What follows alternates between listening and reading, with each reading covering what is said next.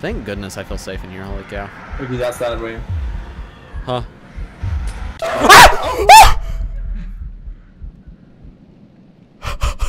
Break